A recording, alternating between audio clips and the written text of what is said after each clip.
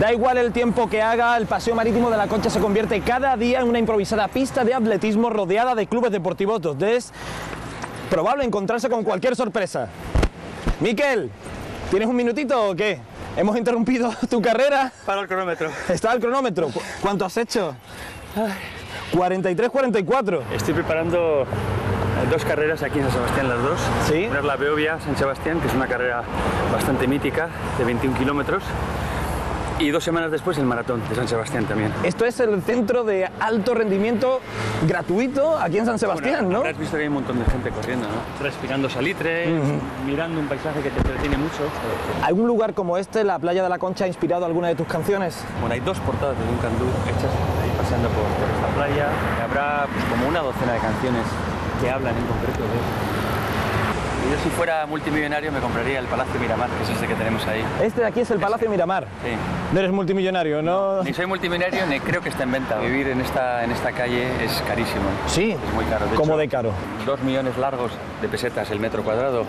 Unos Ah. 12.000 euros el metro cuadrado. Y yo sigo pensando en pesetas, me he quedado un poco... Pienso que habrá pocos sitios en España más caros que este. Ahí todo el mundo está, eh, pues venga, sin la camiseta, con los pies metidos, gente que se baña todos los días, que estamos viendo por allí. Algunos kamikazes tienen, tienen un par de huevos porque se bañan efectivamente todos los días del año. Ahora vamos a entrar ahí a, a- a darme un masaje en las piernas.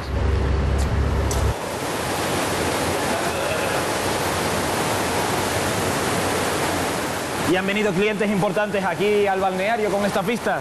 Malkovich, Sigourney Weaver, la de Alien, Angélica Houston, Salma Hayek. Antes nos comentaba Miquel que en algunas ocasiones, sobre todo en el mes de septiembre, suben tanto las olas que pueden llegar hasta aquí. El 11 de marzo del 2008 nos entraron unas olas que nos destrozó todo el centro y hemos estado ocho meses cerrados. La verdad que fue una pasada. Ahí se ponen unos tablones que tapamos todo el ventanal para que cuando venga la ola frenar el mayor impacto.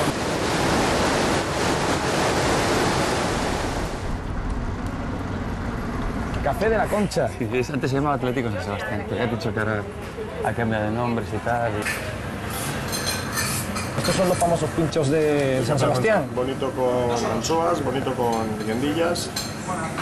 Luego tienes de huevos de avestruz, ¿Cuál es el pincho estrella aquí? los huevos de avestruz. Y no está hoy. Y justo no está hoy.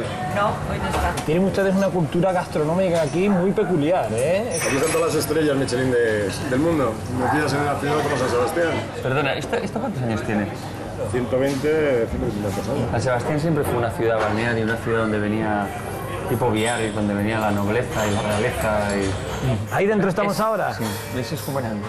Solo que 80 años después, ¿no? Más, yo creo que eso tiene más de 80 años. Mira, mira, mira qué trajes, ¿eh? Mira qué gorros, qué sombreros. Me encanta ese look.